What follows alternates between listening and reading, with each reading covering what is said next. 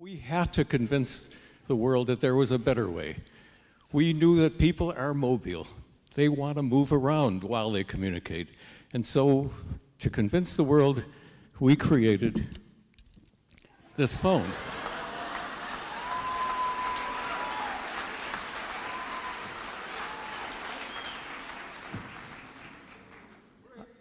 I, I, hope I didn't hear any laughing among that cheering. Yes, this phone is a little large, uh, and it weighed uh, two and a half pounds. The, uh, the battery life was 20 minutes. That's not a problem. You couldn't hold it up for 20 minutes. so you would think that having created this beautiful instrument, that the world would open their arms. Well, if you're a maverick, you know that that's not the case.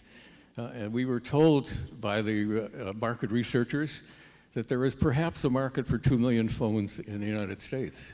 And so it took us some 20 years before we got into the millions, and 30 years before we got into the billions. But today, as Sean pointed out to us, there are over 5 billion cell phones in the world. So we have one other thing that you, the art intelligentsia, and we engineers have in common, uh, and that is passion. How can you stand by for 20, 30, going on 40 years, holding on to an idea, knowing that you're right, knowing that somehow the world someday is going to adopt your ideas? Thank you very much.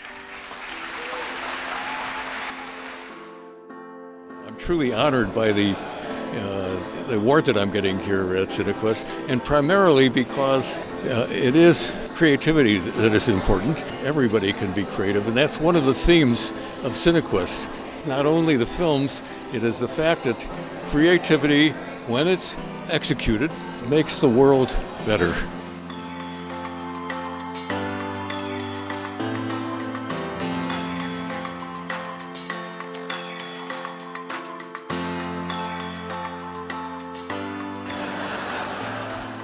The cell phone has changed uh, all of our lives, and, and, it was truly a revolution.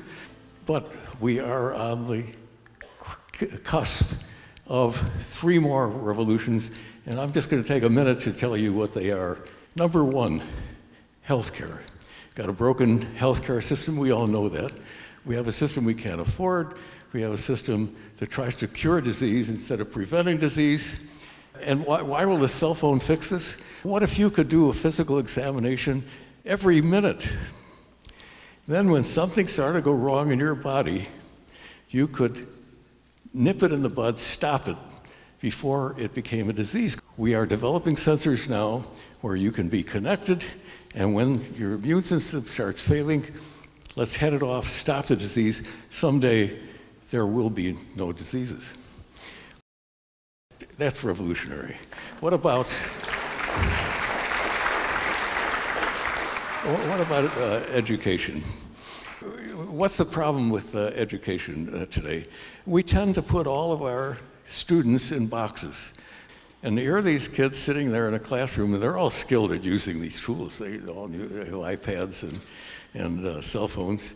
They have access to all the knowledge in the world, and they've got a lecturer talking to them who uh, uh, tells them stuff they already know.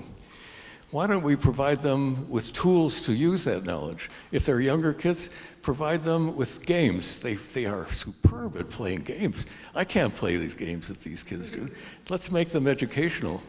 And we're going to find out that we can create a smarter generation. And I, I really believe that. Our children are already smarter than we are, and they're getting smarter and their, their children are going to be still smarter. But we have to get them to use these tools to extend their brains with uh, digital memory and access to all the world's knowledge. Uh, that is happening, and that's going to be uh, revolutionary. And the final one, I mean, now we've got a bunch of healthy, educated people. What are they going to do to solve the world's problems? Well, what's the biggest problem in the world today? It's the difference between the haves and the have-nots. You, have all seen that uh, in the world today. All these uprisings that are happening, they have nothing to do with religion. They got nothing to do with politics. What they have to do is everybody now has access to knowledge about what everybody else has, and they want in on it. we have to get more productive. And the way we are, are going to become more productive is just the kind of thing that's happening with CineQuest now. It is new ways of smart people collaborating. Things don't get done by individuals, they get done by people with a mission who work together in creative ways and do things better. And that is going to happen with all these smart, healthy people we talked about, and we are going to have a much better world in the future.